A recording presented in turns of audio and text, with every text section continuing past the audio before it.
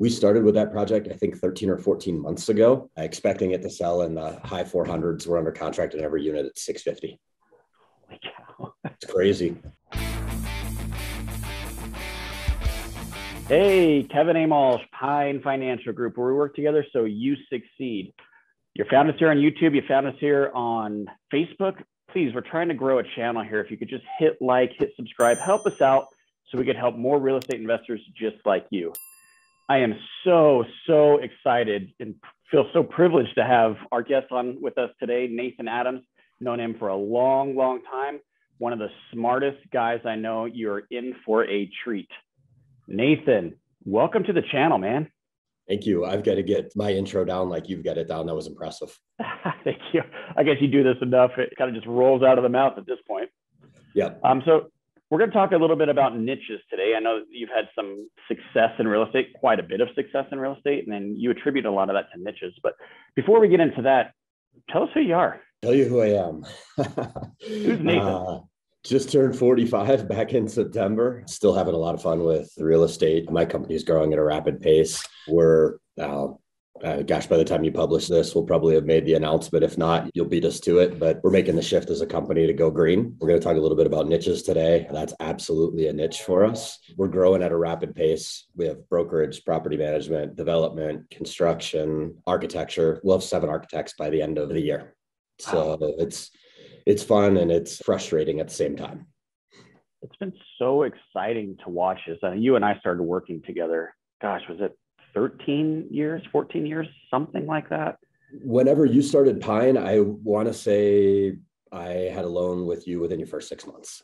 Yeah, I thought I thought we were even working together right before that when I was still with Susan. But anyways, right in that 2008, maybe early 2009 range. Yep. Um, and I've just watched you grow, and it's it's been just a ton of fun, Nathan, to be, you know, a small part of that and to be able to to watch it. Likewise, you guys have uh, have done some cool stuff over that period of time as well. Yeah, thank you. And you've you've helped me a lot uh, over the years, so thank you for that. So niches, when you were starting out, you were fix and flipper. You were kind of spread a little bit all over the metro area here in Denver. I've watched you kind of zero that in. So tell me about a niche. How is that? What is that? And then how has that helped you? Yeah. So f- for me, a niche has been, you know, finding product type or a neighborhood, or maybe it's a certain way to remodel a property or build a property that gives you a distinct difference amongst your competitors. So for me early on, I didn't know any better. I got into this thing kind of just before the whole mess of 2008 and I never really got to the point of building new construction prior to that. So I was buying bank loan properties, short sales, you know, basically anything that I could fix up and sell for more money than I paid for it, plus the rehab that I put into it. I wouldn't exactly call that a niche, but early on for me, niches were more neighborhood specific and how I developed the property or remodeled the property. So there were two neighborhoods that really stand out to me. And the first one is almost comical today, just given what it is, but it's the area immediately east of Regis University. I think I 70 on the bottom, 52nd on the top, which is where it transitions from Denver County to Adams County and then federal uh, practically all the way over to i-25 even though the streets don't quite go that far. It was funny because i went in and i, I was buying houses in that neighborhood for like 60 70000 dollars. And i had other rehabbers tell me you're crazy. I don't know why you'd go there. Like you, you should definitely be on the west side of federal. And for me it was a niche. I'm like nobody else wants to be here. I can buy them easily and they weren't that hard to sell so long as I put the right remodel together. Another neighborhood that was a niche for me, and, and frankly, I wish I would have done way more, was Montbello. Everybody told me I was crazy for buying in Montbello in 2008. I did some fix and flips there. I, I owned some rentals there. The rentals that I owned, I bought for anywhere between 60 and 80, put 20 to 25 into them. I sold them a couple of years ago in the 300s. So, you know, three, three and a half X what I paid for them, which was really quite crazy. But the other niche for me back then is the first remodel that I did, I saved the cabinets. I put in Formica countertops. I painted. It was pretty amateur. I didn't do anything special and it worked. And I looked around at what everybody else was doing. And as the market started to become a little bit more challenged on the selling side of things, I thought to myself, wow, if I just make mine look a little nicer, it'll sell faster. So I distinctly remember everybody doing Formica. And I thought, well, let's give granite tile a shot. And now in hindsight, you look at it and granite tile's hideous. And then other people started to do granite tiles. So I went to slab granite and other people started doing that. So then I take the backsplash in the kitchen from the countertop all the way up to the top of the cabinetry and eventually move to quartz counters and always trying to stay one step ahead of where everybody else was at. And it was a time where it was easy to buy them, harder to sell them. And that niche of remodeling it just a little bit nicer made a gigantic difference. Yeah, it's funny you mentioned Montbello. I still have that house you sold me in Montbello all those years ago. Gosh, I don't remember that. Where where was it at? oh, it's on uh, Qu- uh, Quinton Street. Uh, okay. Got, yeah, I think it was like 2010 or something. So it doesn't surprise me you forgot. But yeah, it was a great area. I, I actually love that neighborhood, um, especially for rental properties. But yeah. Okay, so you were focused on areas. You had two. You mentioned two. We have a, a national audience here, but North Denver by Regis is what 15 or so minutes out of the core. Yeah, oh, gosh, downtown. I, would say you could could do it less than 10. Less than 10 minutes. Okay. Yeah. So it's just a northern. It's still Denver, but it's on the northern side of Denver, and then Montbello is still Denver, but it's 25 minutes outside of the downtown area. It's out by the airport. So those are the yeah. two neighborhoods Nathan's talking about there. So you were focused on those two, focused on quality of finish so you can get them sold quickly. Yeah. Um, and then and then what? then how'd you progress? What's what's the next niche? Yeah. So the next niche, as it became harder to buy remodel projects, I started to get into putting additions on, popping the top. I wouldn't call those niches, but what I was hearing from the GCs that I was hiring is, gosh, if you would just rip it down and start over, it would be so much easier. So I took the plunge, I jumped into new construction, and it felt a lot better because I didn't have to worry what was behind the walls that I didn't touch. I didn't have to think about lead based paint. We were taking the asbestos out of the old building before we tore it down. We didn't have to worry about that stuff. And the first two projects I did were duplexes, and that's not an itch.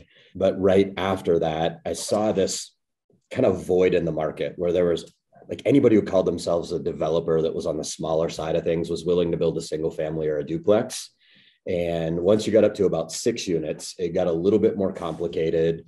You started to have to deal with things like infrastructure improvements from Xcel, and the planning process with the city was more challenging. So there was a sweet spot between six and 20. And the reason we stopped at 20 is anything over 20, we were looking at having to put an HOA in place when we're building townhome projects. And that brought on more liability. So that six to 20 kept all the small guys that just wanted to do the simple, easy projects out of the way. And the bigger guys, you know, 8, 10, 12 unit projects, just not enough there for them. They just weren't excited. So for gosh, probably seven years, we played in that space. Townhomes, six to 20 units, occasionally four or five unit projects, but the large majority of them were between six and 20. And that was a niche, that was a sweet spot. And like any niche, even going back to the neighborhoods that I was in, eventually everybody else comes. It's public record, it's in the MLS. They see what you're doing and then they start to do the math and figure out, hey, this is a pretty good idea. So, you know, that took us to, gosh, 2018. And when we looked at 2018, I sat on the slot home task force. They really changed the rules around building townhomes. We were looking hard for that next niche. And this is where the failure comes in. We thought condos were the next niche. We weren't the only ones to think that. And we jumped in, we bought three sites. One of our bigger clients bought a couple of sites. We ended up throwing all of our plans in the garbage away on one site, $400,000 worth of entitlements. Pivoted to townhomes, got it entitled, sold it to somebody else. We built one of them, five story building. About three fourths of the way through, we pivoted to for rent and ended up being a fairly decent call. We got it 50% occupied. This is crazy. Got a $17.5 million offer, a million dollars of non refundable earnest money, and they closed in three weeks. And they actually got it done. They even waived the ALTA survey with the title company in order to honor their three week close. And then the other site I still own. I've got a wow. I've got a fully entitled 48 unit site in Arapahoe Square. So you know, fast forward to today in the niche that we're moving to, we see millennials as the biggest buyer segment, and that's going to hold true for some time. They care about the environment more so than previous generations, and the large majority of my employees are millennials. So we've made the shift to go green as a company.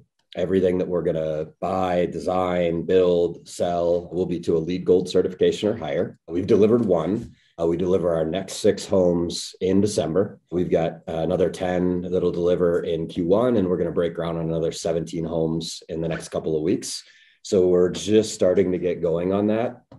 Uh, but the, the, six unit that we just sold out of that will deliver next month is crazy to me how much we were able to sell them for.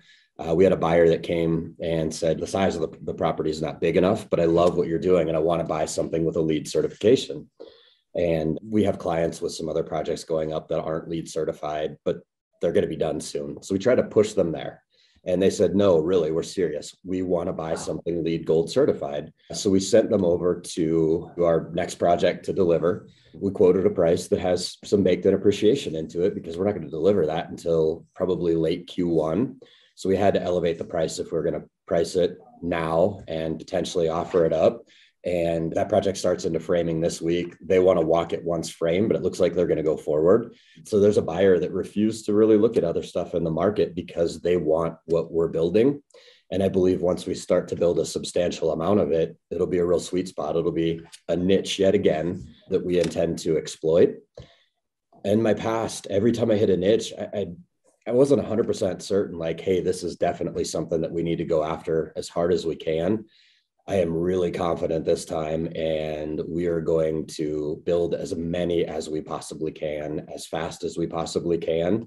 And I think the municipalities are going to do their damnedest to slow us down, but we're, we're not going to quit. We're going to go, you know, as we get permits, we're going to put them up, build quality, build them to LEED gold certification, and make buyers happy. Yeah, and you shared with me like they, I mean, you just shared one story, but you are selling these. I mean, they're they're moving off the shelf pretty quickly. Yeah, and the you know the six that are closing next month, I was pretty surprised by what we were able to get in price for them. But we don't. I mean, we set the price, but the market really dictates what the price is going to be. If we set it low, then we sell for more money.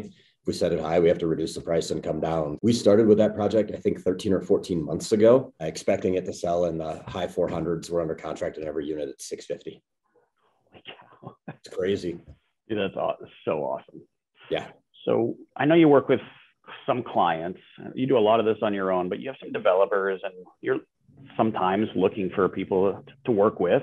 Mm-hmm. Is there anything you want to share with our viewers? Like, how can we help you? What are you looking for? Yeah, so we've gotten really intentional. you go back in time three or four years. If you're a developer with a project and you're looking for somebody to sell it, we're raising our hand. We want to jump in. And we've dealt with a few people that we're challenging to work with. And in my mind weren't necessarily doing the right thing by the buyer.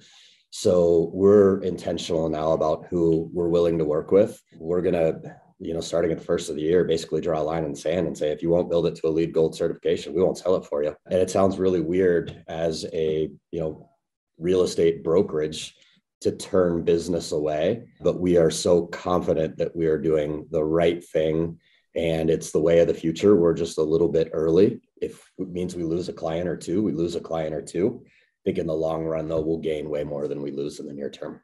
That's fantastic. I want you to share your contact information, but before you do, any last words of wisdom, anything you want to share? Last words of wisdom. You know, the topic is niches.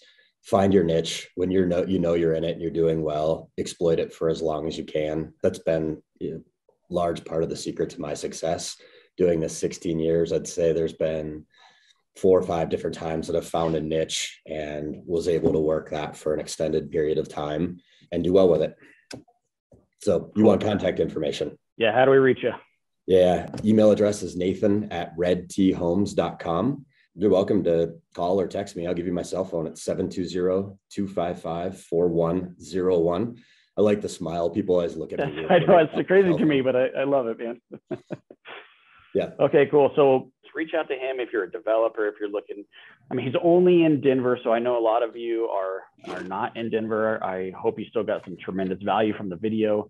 If you are in Denver or the surrounding areas and you're developing properties, you want a little hand holding, you want a little help selling them, reach out to Nathan. Got any financing needs, real estate investor financing experts, you can reach us at pinefinancialgroup.com.